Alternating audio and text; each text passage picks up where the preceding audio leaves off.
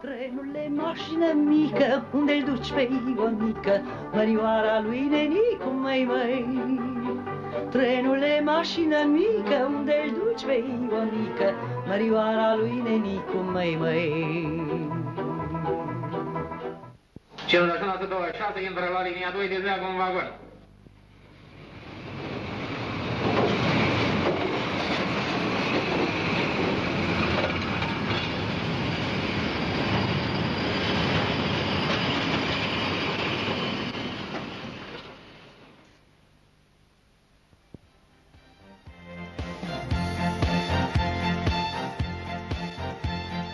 Marți 31 octombrie anul curent, în întreaga țară s-a sărbătorit ziua căilor ferate române. Această zi este legată de un important eveniment petrecut cu 35 de ani în urmă, punerea în circulație a primului tren din România pe ruta București-Giurgiu. Evenimentul a generat o vie emoție în acea vreme, constituind pentru români un element de noutate. Au trecut 35 de ani de atunci, iar uh, trenul a devenit cel mai popular și mai accesibil mijloc de transport folosit de toate categoriile sociale.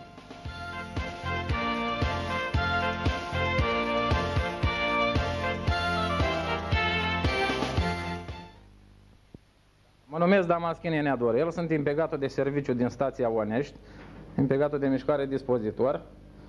Uh, ne desfășurăm activitatea într-o tură normală de zi de serviciu și uh, pe această cale vrem să mulțumim televiziunii Ideea că ne-a onorat cu prezența și uh, nu ne-a uitat datorită evenimentului la care avem să participăm fiecare la domiciliu după terminarea serviciului, fiindcă se cunosc condițiile de lucru de la calea ferată.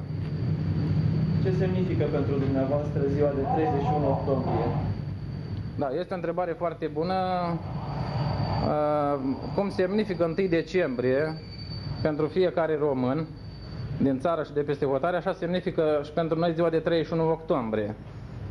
Este o zi aparte, pe care o sărbătorim cu toții și rugăm colegii care sunt liberi de serviciu, rugăm pe această cale să bea un pahar și pentru noi, fiindcă noi suntem de serviciu până ajungem acasă, la domiciliu.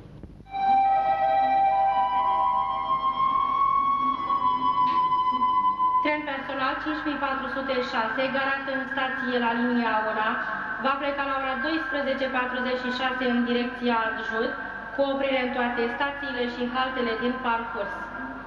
Tren personal 5406, garat în stație la linia 1, va pleca la ora 12.46 în direcția Adjut, cu oprire în toate stațiile și haltele din parcurs.